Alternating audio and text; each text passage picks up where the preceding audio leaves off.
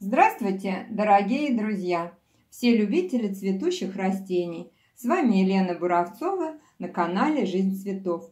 И в этом видео я отвечу на ваши вопросы, которые вы задаете под видео. Ну, во-первых, очень хочу поблагодарить всех тех, кто участвовал в розыгрыше. Спасибо вам большое. И еще раз поздравляю победителей. Подготовка посылок идет полным ходом, и в ближайшие дни я их отправлю. И обязательно вам покажу, как я буду упаковывать фиалки. Во-вторых, я хочу вам сообщить, что завтра на моем втором канале «Женские темы» выйдет новое видео на очень актуальную тему для каждой женщины – как выглядеть моложе. Я поделюсь с вами такими секретами молодости, что, посмотрев видео, вы без материальных затрат сможете выглядеть на 5-10 лет моложе, чем по паспорту. Будьте уверены, этот способ проверен, и вы сами сможете в этом убедиться. Приглашаю всех посмотреть, обсудить, ну и, возможно, поделиться своими секретами. Думаю, что в знак женской солидарности это возможно. Ну а сейчас давайте вернемся к главной теме и поговорим о фиалках. И начнем мы с того, что погода за окном очень резко поменялась. И так как отопительный сезон еще не начат, то и дома, соответственно, э, изменилась температура, понизилась, и на окошках стало прохладно. Как вы уже можете заметить, сейчас я покажу поближе. Так. Вот посмотрите. Я уже положила на окно вот такой вот материал. Это такой вот строительный, есть в любом строительном магазине утеплитель. В прошлом году я вам уже подробно показывала, что он очень хорошо предохраняет растения от охлаждения. Ведь во время понижения температуры земляной ком охлаждается, всасывание воды идет совсем по-другому. И если кому-то интересно, можете посмотреть. Вот здесь сейчас наверху появятся ссылочки. Видео как подготовить фиалку к холодам, ну, а также вот видео ультраполярное вторжение, которое было летом. Также там очень есть много подробных объяснений. Вот два видео, ссылочки вверху, также оставлю в описании. Можете подробно посмотреть. Также одна из моих подписчиц, Светлана, спрашивает, каким образом надо создать растению при пересадке тепличку. Как его лучше накрыть, чтобы оно себя там комфортно чувствовало. Итак, Светлана, растение можно накрыть как сверху, вот, например, вот целлофановым пакетиком, вот просто сверху, вот, оставив вот здесь небольшое отверстие для прохождения воздуха.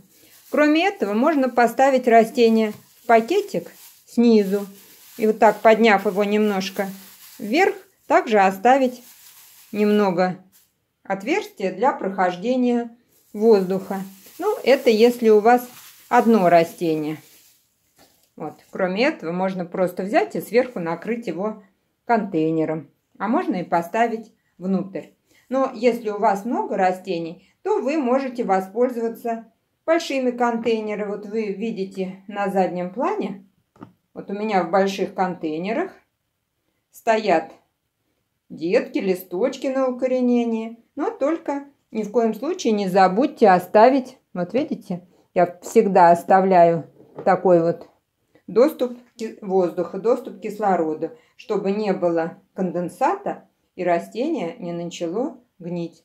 Это обязательно. Кроме этого, следите за поливом, когда ваше растение находится в тепличке, чтобы не допускать излишней сырости, так как там меньше вентиляции, и поэтому надо обращать на это особое внимание.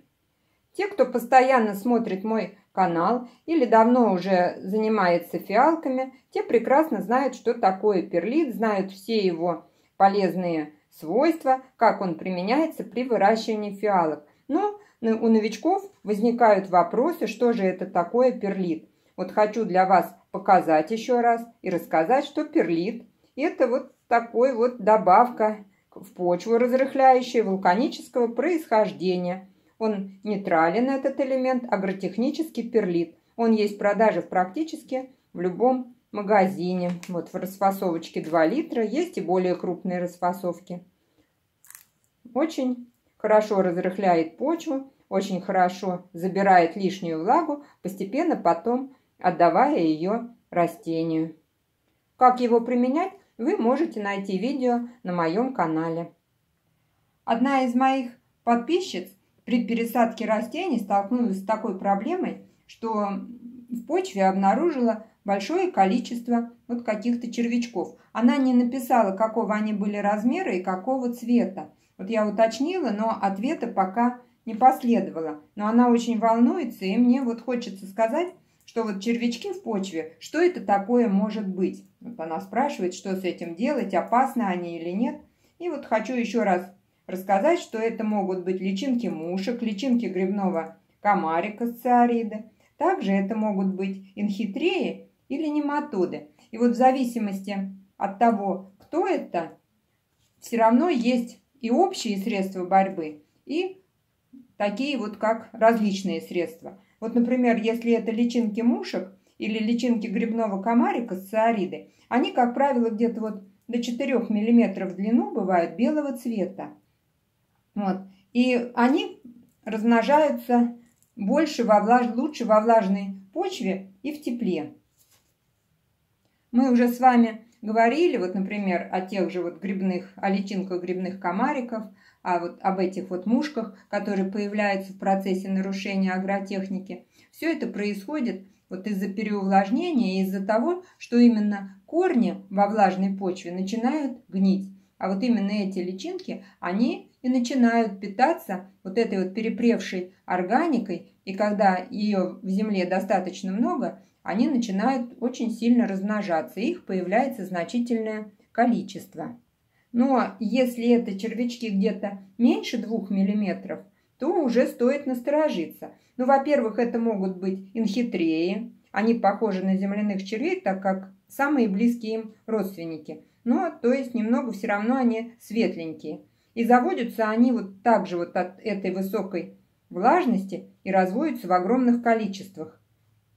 Ну, вот меры борьбы именно с такими червячками, которые вот с меленькими до 2 мм, надо это пролить грунт любым антигельминтным препаратом. Например, вы можете взять одну таблетку декариса, растворить в одном литре воды и несколько раз хорошо пролить растение. Но кроме этого есть специальные средства, например, базудин, базудин.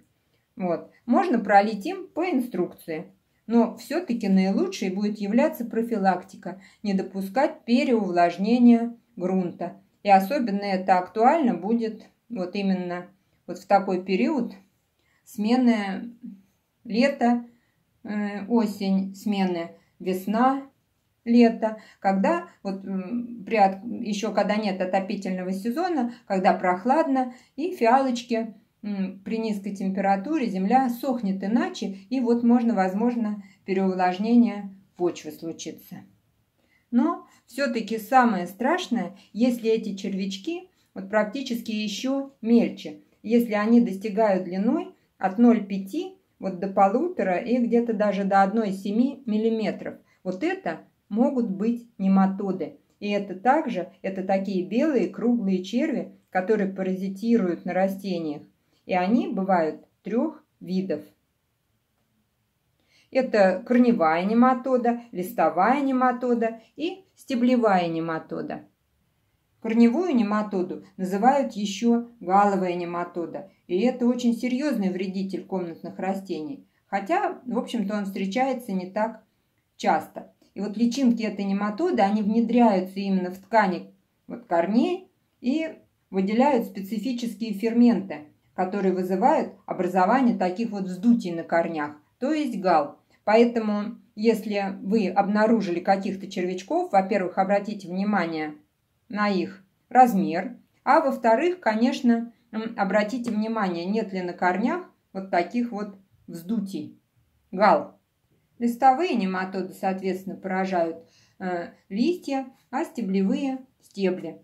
И также растения – это очень страшный вредитель нематоды, о них можно много рассказывать, но вот, к сожалению, вот таких вот радикальных мер борьбы с нематодой не существует, потому что поэтому сильно зараженные растения обычно уничтожают вместе с почвой. Но если вот бывает, что э, поражение обнаружено на ранней стадии, то растение можно попытаться спасти, но все-таки сразу изолировать от своих других растений – так как нематода может э, передаваться от растения к растению, особенно вот листовая нематода, это такие мелкие червячки, вот где-то вот миллиметр, и они очень быстро передвигаются.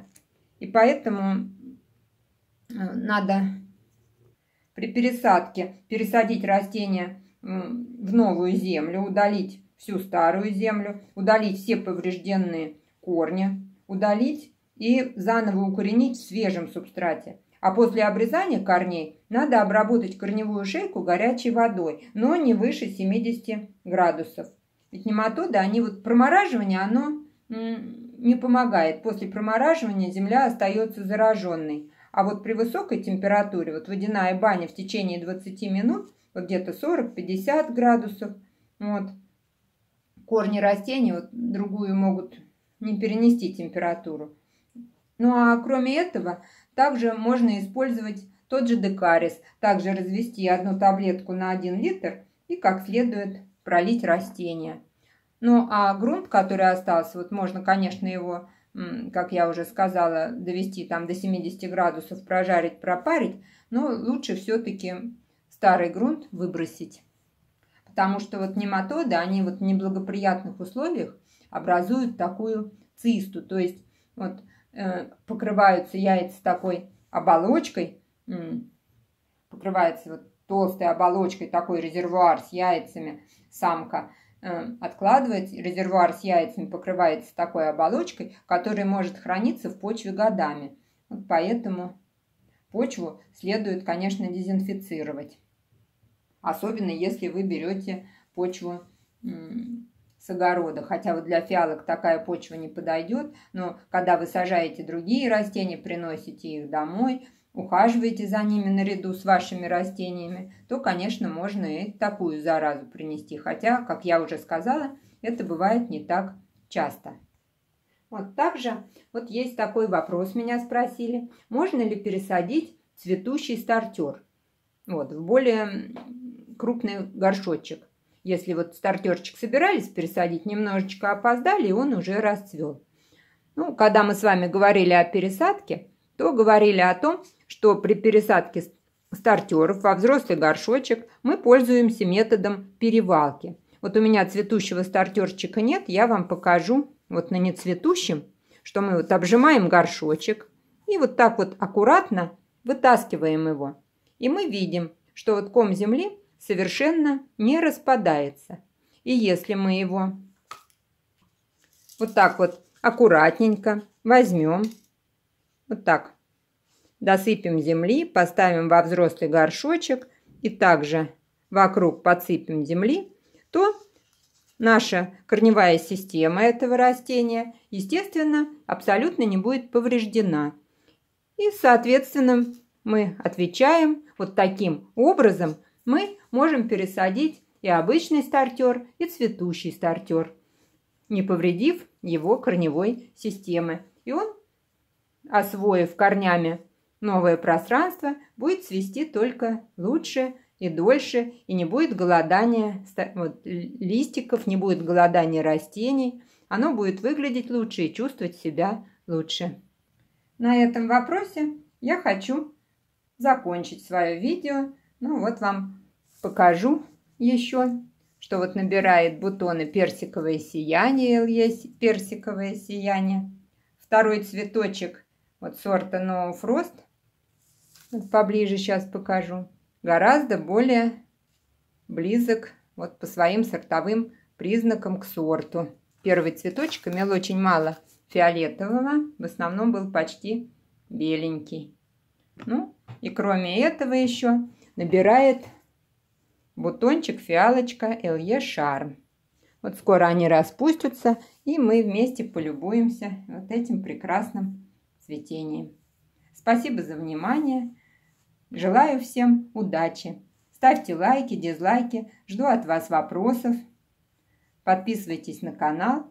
И на один канал, и на второй канал «Женские темы». И напомню, завтра на канале «Женские темы» очень актуальная тема. Как выглядеть моложе. Заходите, комментируйте. Буду очень рада. До новых встреч. Всем пока.